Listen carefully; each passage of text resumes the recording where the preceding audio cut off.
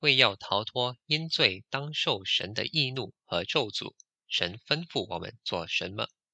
为要逃脱因罪当受神的义怒和咒诅，神吩咐我们做什么？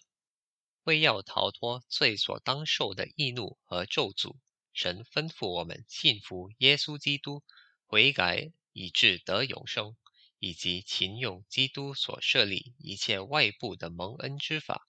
好叫救赎的益处归于我们，为要逃脱罪所当受的义怒和咒诅，神吩咐我们信服耶稣基督，悔改以致得永生，以及勤用基督所设立一切外部的蒙恩之法。好叫救赎的益处归于我们。